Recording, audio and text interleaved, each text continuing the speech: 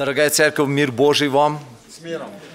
У нас сегодня э, особенное служение, потому что мы будем отмечать тот праздник, когда Иисус Христос вошел в Иерусалим.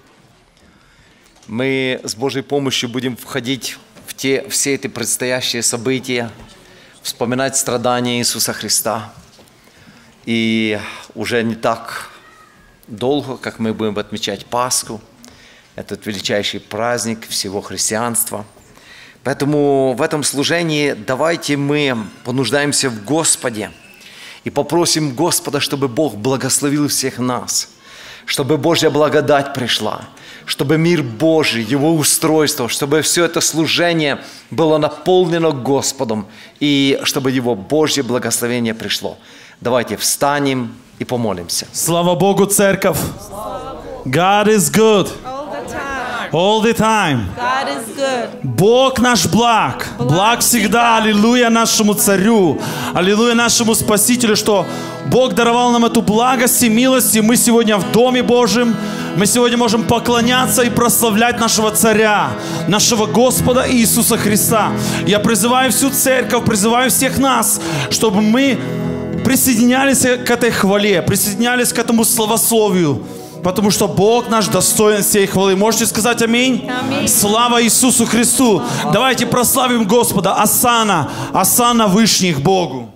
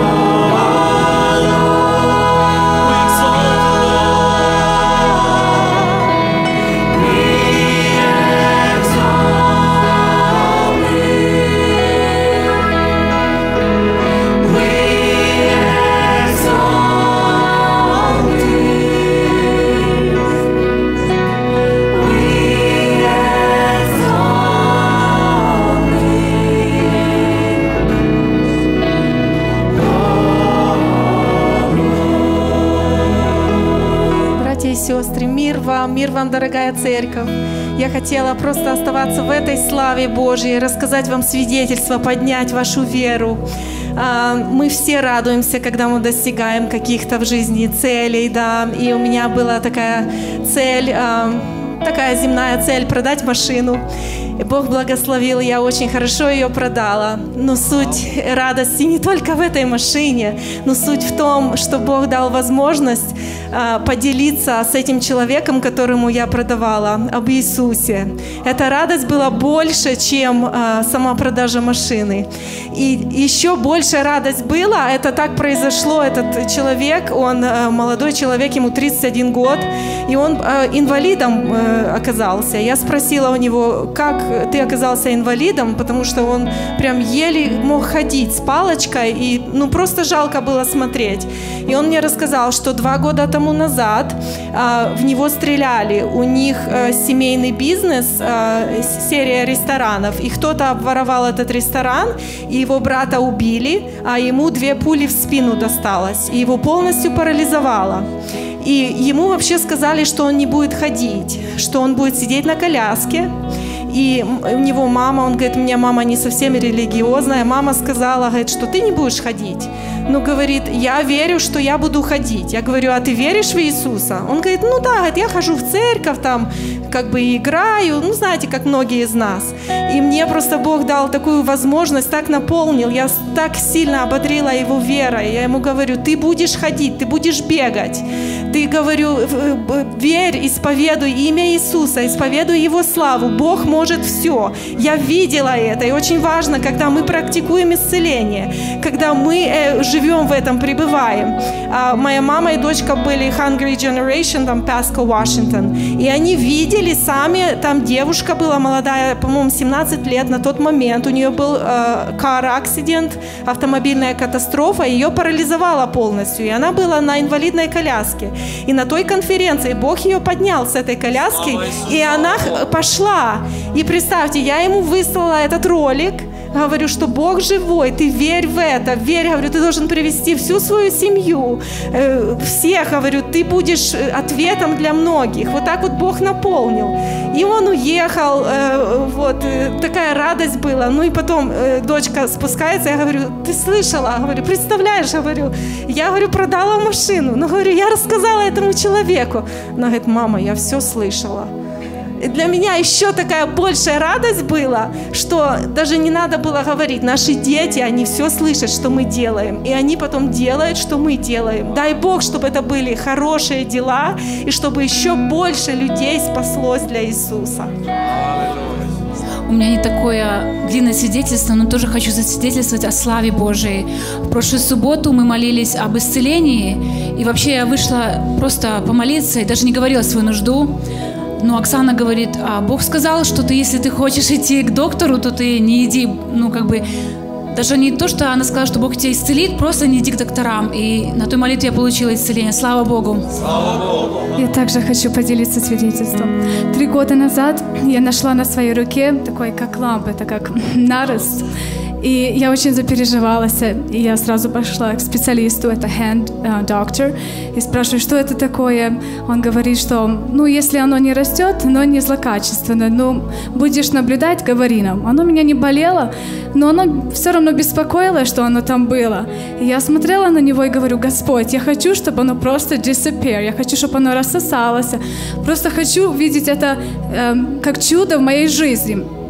Ты исцеляешь там где-то, я вижу там, а, в других странах. Ты делаешь великие дела, но я хочу видеть это в моей жизни, лично в мо- моей жизни. И самое главное, я никому не делилась. Только моя мама знала, моя семья.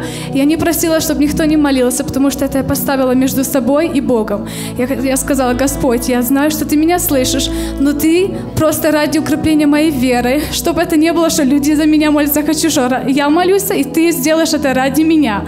Э, чтобы моя вера просто возросла. И проходил год, второй год, и ничего не менялось. Я молилась, провозглашала, Господь, уд- удали эту лампу, я не хочу, чтобы она была у меня.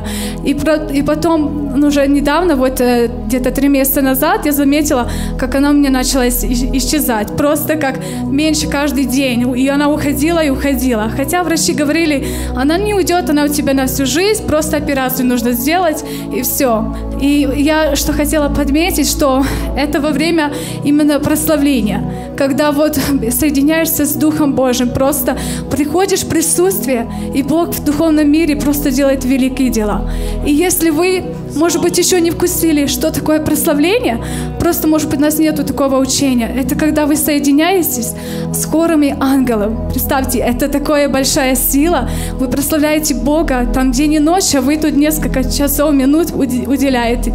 И просто на меня всходила сила Божья. Я верю, что это было именно когда ты соединяешься, Бог, Дух Святой наполняет. Ходатайственная молитва, сильная такая молитва и шла. И просто не пренебрегайте, когда идет прославление. Не осуждайте, потому что вы не осуждаете а, э, нас, вы осуждаете Духа, который в нас. Просто поймите, это сила, оружие в духовном мире.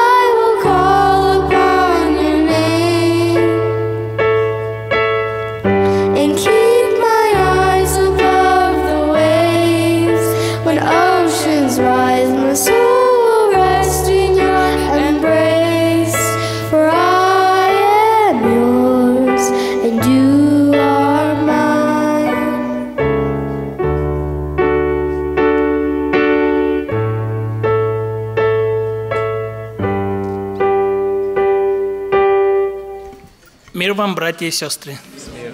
Очень рад видеть вас сегодня. Все можем вместе сказать «Слава Богу». Этот день подарил нам Господь. И даже уже вот то, что вот сейчас прошло только половина служения. Вот если у нас служение идет полтора часа, прошло только вот половина этого служения. И только вот ради этого можно было сегодня приехать, чтобы вот услышать эти короткие свидетельства. И даже мне понравилась молитва обоих служителей, пресвитеров. И там были такие слова, может, можно сказать, такие простые, но такие прекрасные слова. Он, пресвитер Дмитрий сказал, многие сегодня не проснулись, не проснулись. А мы, дорогие братья и сестры, по милости Божьей и любви Бога Отца, сегодня в Доме Божьем. Мы можем сказать «Слава Богу!» Мир вам, мои хорошие! По просьбе нашего главного пастыря буду говорить очень коротко по просьбе пастыря, но все-таки тему поставлю «Прибыть в Иисусе Христе» и не буду уходить «Пальмовое воскресенье». Если вы помните, когда мы жили при Советском Союзе, то в России, в славянских странах, там праздновали, там называли больше вербное воскресенье. Потому что там, где мы жили, там пальма не росла. Там была верба. Это мне приятно, что ты переводишь, это очень хорошо. Это такое дерево, которое самое первое распускается и дает зелень, почки, и люди это дерево отрезали, украшали им свои дома, и этим самым они хотели показать честь Господу Иисусу Христу. В России называлось «Вербное воскресенье». В Соединенных Штатах мне очень нравится более по Библии «Пальм Сандей», пальма воскресенья, потому что люди резали пальму, и этим они хотели показать, что они славят Господа. Буду говорить коротко, приведу два места Священного Писания и будем рассуждать. Если у кого из вас есть Библии, можете открыть вместе со мной Евангелие Иоанна 12, 12. Евангелие от Иоанна 12, 12, 15. На другой день множество народа, пришедшего на праздник, услышав, что Иисус идет в Иерусалим, взяли пальмовые ветви, вышли навстречу Ему и восклицали «Асанна, благословен грядущий во имя Господня, Царь Израилев». Иисус же, найдя молодого осла, сел на него, как написано, «Не бойся, Черсиона, се, царь твой грядет, сидя на молодом осле». Люди вышли, постилали пальмовые пальмы, резали пальмы и постилали и говорили, «Благословен грядущий во имя Господня, Царь Израилев». Но, к сожалению, сердце этих людей – на тот момент большинство не было и не, и не пребывало с Иисусом Христом. Почему?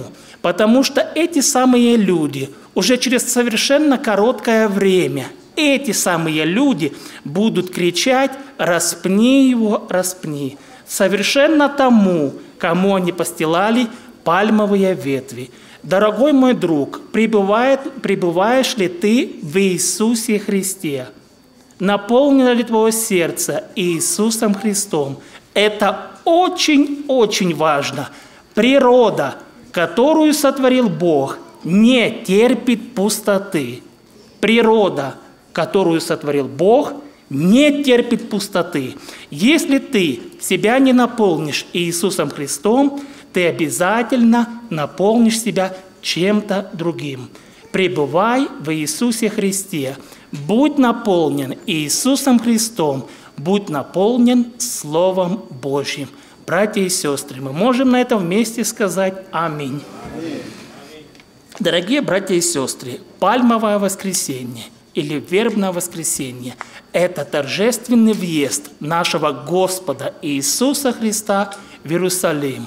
Но насколько важнее – если твое сердце сегодня будет открыто, и торжественный въезд Господа Иисуса Христа будет сегодня в твое сердце.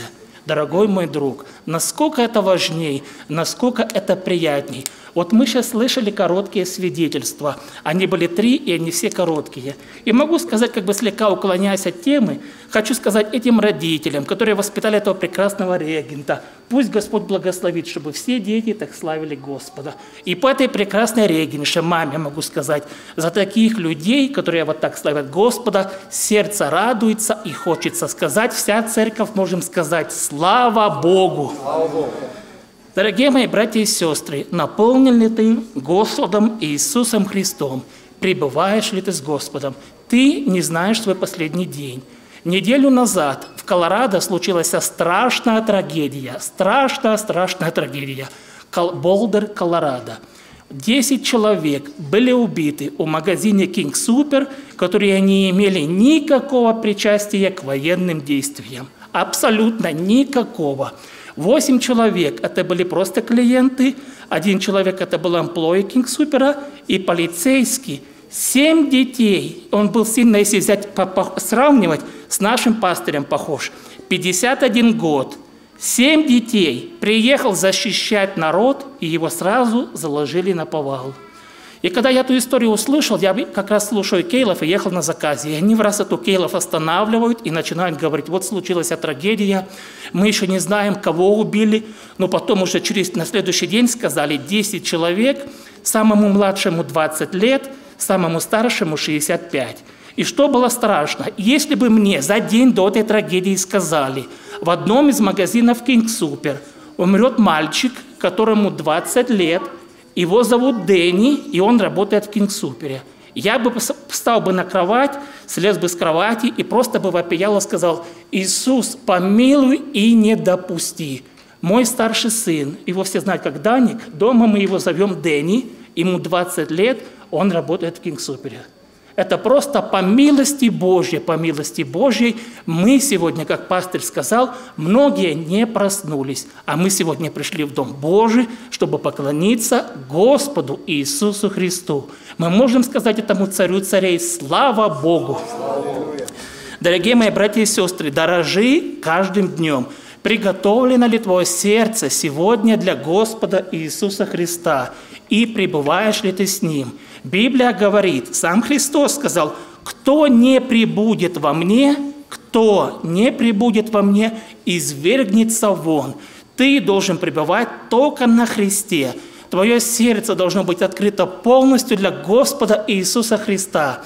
Пальмовые ветви – это еще не самое главное, что ты можешь постелить. Верба – это еще не самое главное.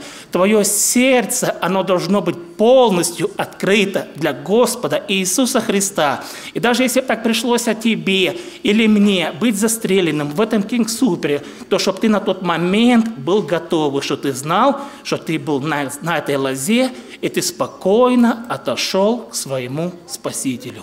Дорогой мой друг, будь готов, это очень важно. Мы знаем, что часто люди погибают в Афганистанах, на войне. Но когда вот я живу в Америке, я помню, первая стрельба в моей жизни произошла в Колорадо, это Columbine High School. Школа. Кто бы мог поверить, что в школе перестреляют людей? Совершенно недавно была в церкви. Было, где мы живем от нашего дома, в кинотеатре. И вот уже теперь уже доходит уже до grocery store.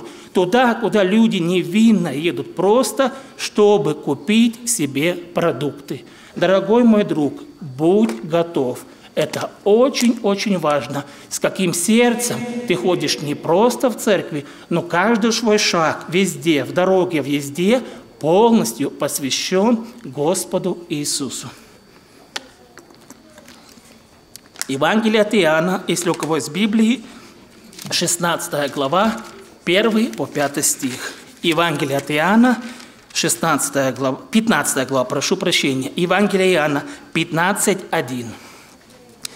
«Я есть им истинная виноградная лоза, а Отец мой виноградарь.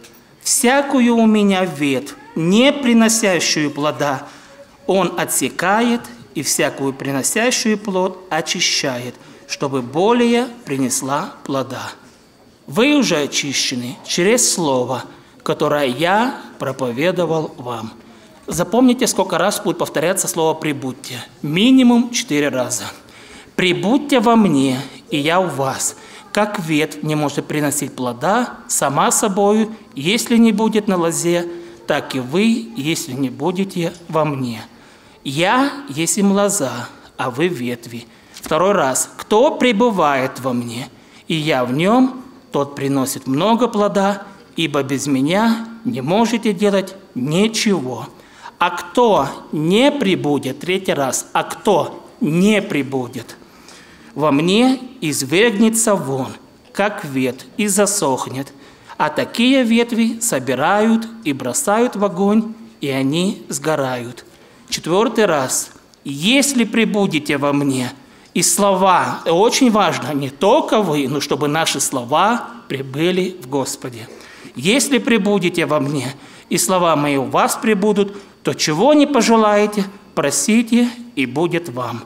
Тем прославится Отец мой, если вы принесете много плода и будете моими учениками. До сего места, мои дорогие братья и сестры, преклонивши колени, прославим нашего прекрасного Господа, что, как пресвитер сказал, что по милости Господней мы сегодня проснулись, приехали в Дом Господний, чтобы воздать славу Богу. Аминь. Мы споем песню на английском языке, но будет высвечен перевод для тех, кто не понимает. И а, это, слова из этой песни взяты с Откровения пятой главы где Иоанн видит видение и видит на престоле книгу, которую никто не мог открыть. И видел я ангела сильного, провозглашающего громким голосом, кто достоин раскрыть сию книгу и снять печать ее. И никто не мог ни на небе, ни на земле, ни под землей раскрыть сию книгу и не посмотреть в нее. И тут, я думаю, Бог дал Иоанну пережить, ну, как бы, Божью боль э, в настоящем времени. И я много плакал о том, что никто Никого не нашлось достойного раскрыть и читать сию книгу, и даже посмотреть нее. И дальше потом он узнал, что есть достоин. И поют новую песнь, говоря, «Достоин ты взять книгу и снять с нее печати, ибо ты был заклан, и кровью своею искупил нас Богу из всякого колена, языка и народа и племени». И слышал голос многих ангелов, которые тоже пели – Достоин огни закланный принять силу и богатство, и премудрость, и крепость, и честь, и славу, и благословение. Я не знаю, или это о прошлом, или о будущем написано, но я думаю, что такой же разговор состоялся, когда Иисус должен был прийти и пострадать за нас. И тоже, кто же пойдет, кто достоин, кто достоин избавить нас от тьмы, от греха, от боли. И это Иисус. Мы о нем споем.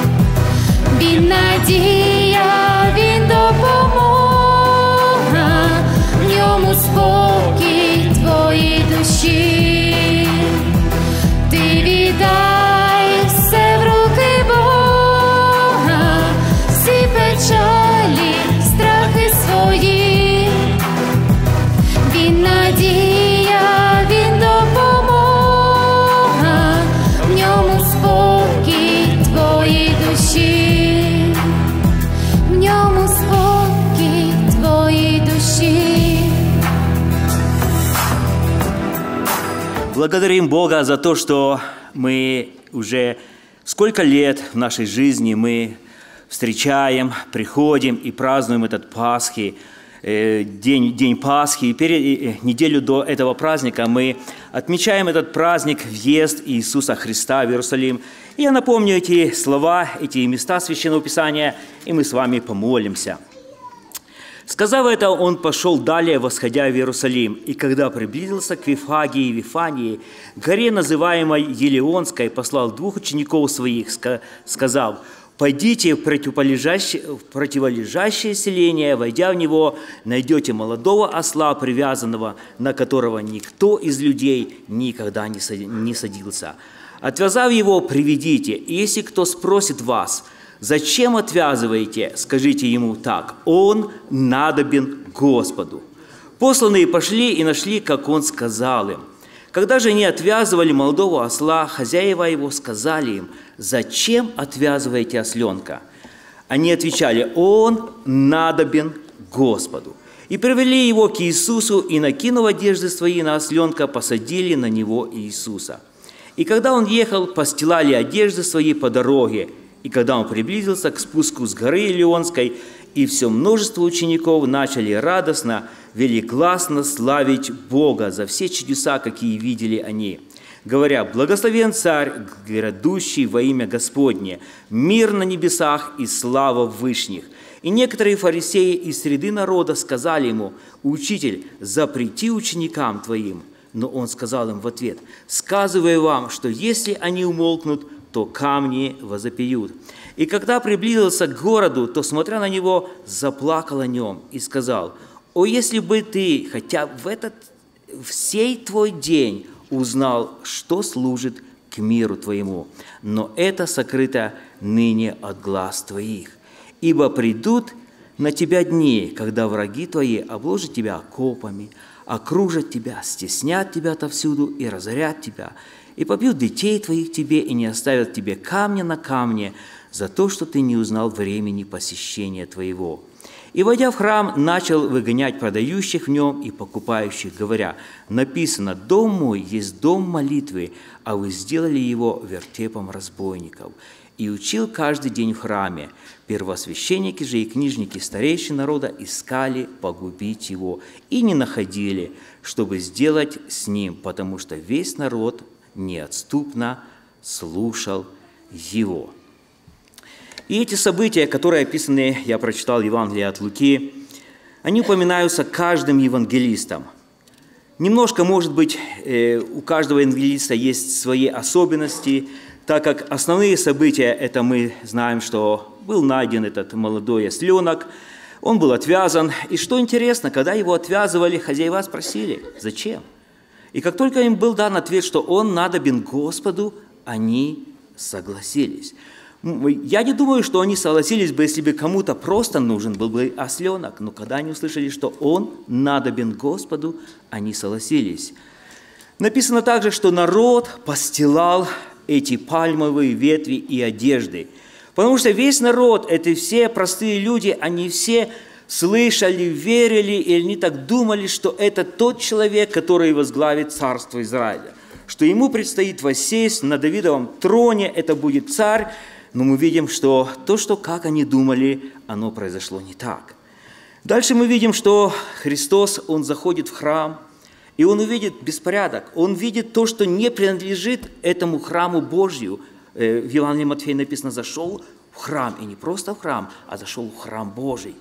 И Он увидел меняющих, торгующих, может быть, там спорящих, может быть, еще что-то делали. То, что там описано, я с большого города, да вы все сами знаете, это напоминает центральный колхозный рынок. Все, знаете, эти все э, операции, которые там, там происходили, но принадлежит ли это храму Божьему? Мы уверенно скажем нет.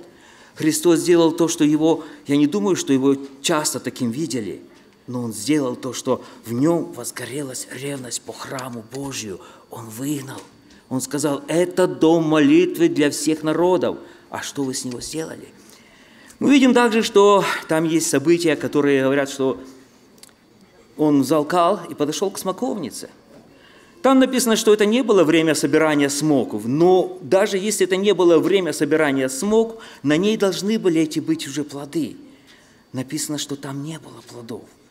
И он сказал ей, что отныне тебя, на, на тебе не будет этих плодов. И далее мы видим, что эта смоковница засохла.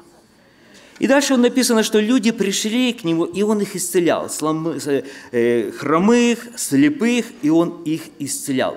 Написано – и учил каждый день в храме. Это я так собрал основные события, которые произошли в этот период, когда Иисус Христос въезжал в храм, когда Он в Иерусалим, когда Он зашел, когда Он въехал. Это основные события, просуммированные со всех евангелистов.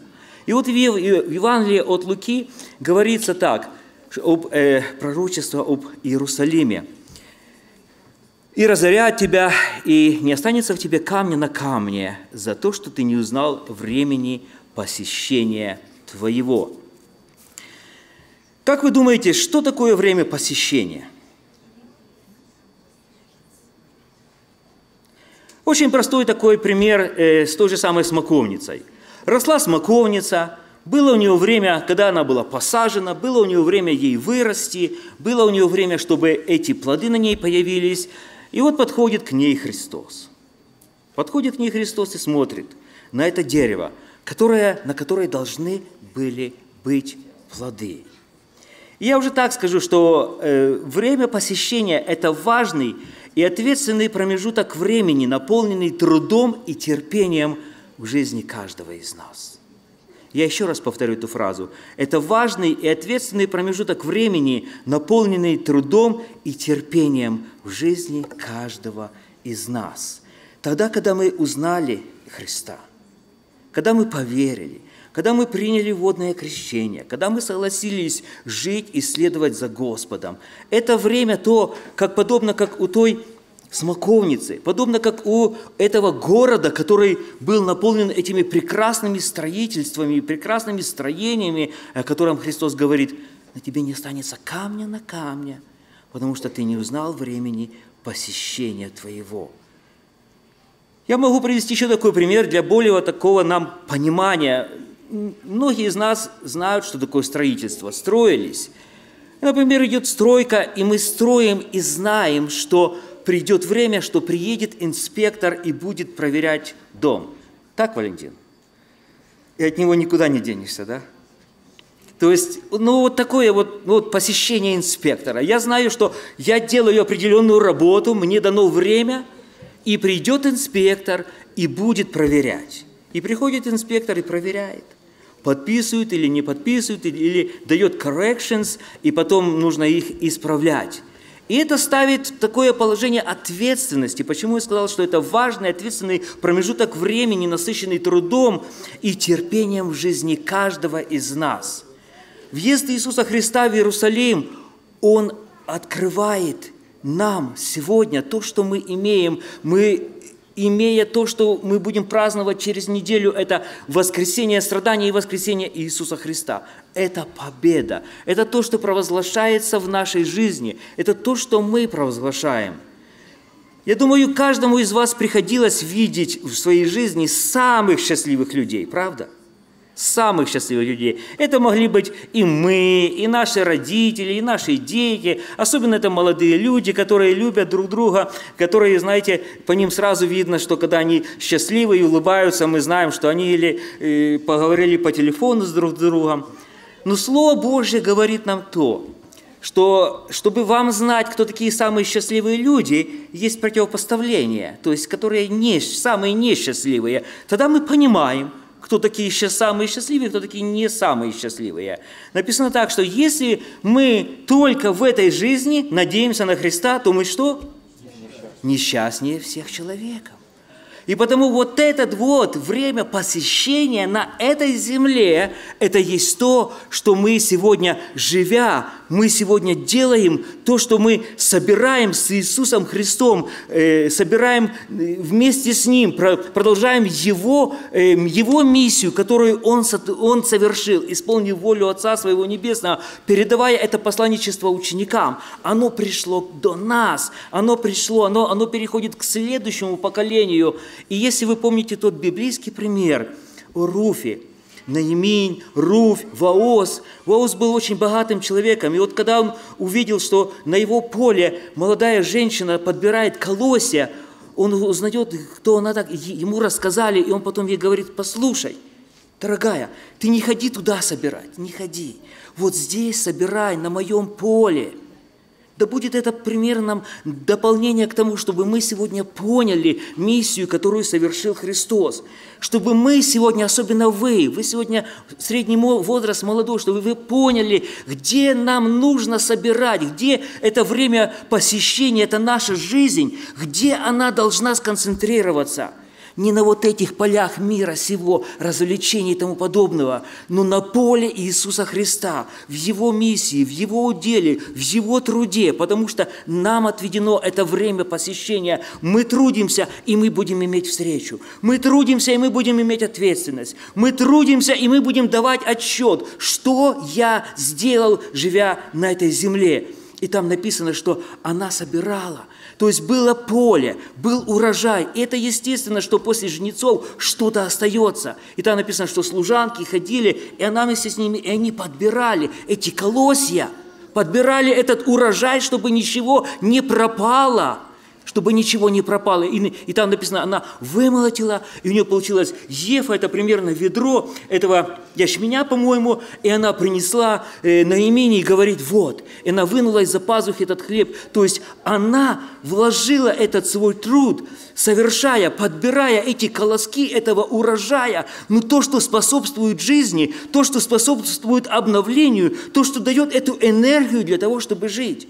И сегодня вот этот пример и дальнейшее воскресенье, где мы будем продолжать это отмечать, чтобы для нас всех послужили тем напоминанием, добрым напоминанием, чтобы мы сегодня узнали время посещения, чтобы мы сегодня были ответственными в, этой нашей, в этом нашем промежутке, который называется жизнь человеческая. Это время нашего посещения. Это время то, что мы сделаем, что мы, что мы соорудим, что мы принесем и как мы к этому подходим – и потому пускай каждый из вас, кто присутствует на этом месте, чтобы, пойдя в наши домы, продолжая жить и трудиться, чтобы мы помнили, что мы сегодня счастливые люди только потому, что мы не только в этой жизни надеемся на Христа. Я еще раз говорю, не только. Все это прекрасно, знаете, все это прекрасно, хорошо. Мы просим, мы молим, мы получаем от Бога исцеление, мы получаем работы, мы получаем, мы проходим эту школу. Но для чего? Для чего? Для того, чтобы быть использованным Господом в будущей жизни, Царстве Божьем. И потому, если мы так верим, если мы так устрояем свою жизнь, если мы так направляем свою силу, здоровье, время, энергию, мы будем в числе самых-самых счастливых людей, потому что мы верим и мы будем с Господом. И пускай то, что сегодня совершил Христос, то, что сегодня Он совершил для нас, оно постоянно нас обновляет, дает нам силы, обновляет наше физическое здоровье, обновляет наше духовное здоровье. И чтобы, как сестра Люда рассказывала, что она засвидетельствовала, она засвидетельствовала, чтобы каждый из вас был способен и был готов засвидетельствовать жизнью, словами, делами, поступками. А сейчас давайте склонимся и поблагодарим нашего Господа. Аминь.